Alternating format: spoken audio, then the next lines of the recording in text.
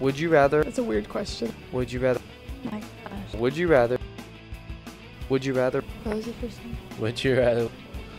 Would you rather? Would you rather get all A's but no celebrating Christmas, or get all B's and celebrate Christmas? All B's, definitely. Would you rather only drink eggnog for the whole month of December, or only eat candy canes for the whole month? Go eggnog. Would you rather eat cat food for the whole month of December, or push the wood ten times around the track?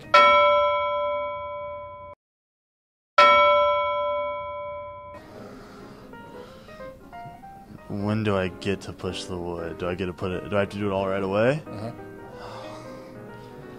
I'd rather push the wood. Rather push the wood.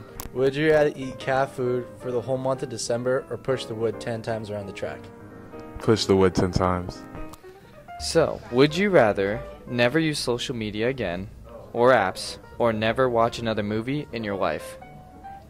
Social media. Would you rather have an 89% going into finals, or an 85 going into finals? Would you rather get into a cage match against Paul Brook, or the whole English department? English department. Would you rather take a Razor scooter to the ankle and get all A's, or keep your ankles and get all B's? Keep my ankles.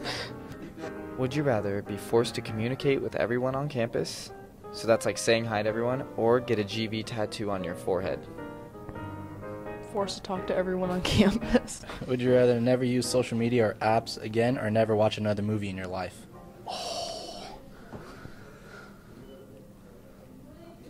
Never use social media. Would you rather lose all your money and valuables, or every picture you have ever taken? Every picture I've ever taken. Would you rather only drink eggnog for the whole month of December, or only eat candy canes for the whole month of December? Candy canes, definitely. Would you rather get in a cage match against Paul Brook or a whole English department? Oh, the whole English department.